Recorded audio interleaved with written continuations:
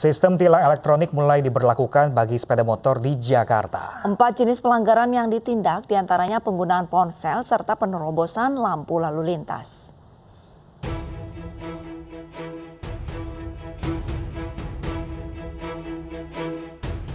Mulai 1 Februari, Direktorat Lalu Lintas Polda Metro Jaya menerapkan sistem tilang elektronik untuk sepeda motor.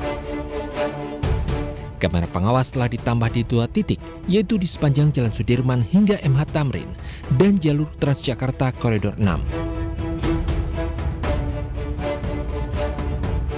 Ada empat jenis pelanggaran yang akan ditindak, di antaranya penggunaan ponsel, penggunaan helm, penerobosan lampu lalu lintas, dan pelanggaran marka jalan.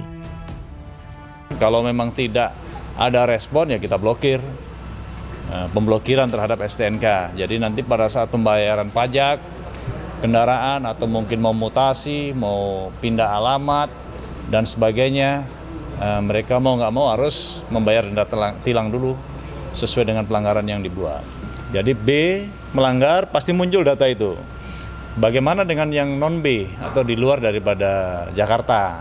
Kita kalau di luar Jakarta kita menggunakan comment center tercapture, kita sampaikan kepada anggota di lapangan, kendaraan ini tadi melanggar ini, posisi sekarang ada di sini, ditangkap sama anggota di lapangan.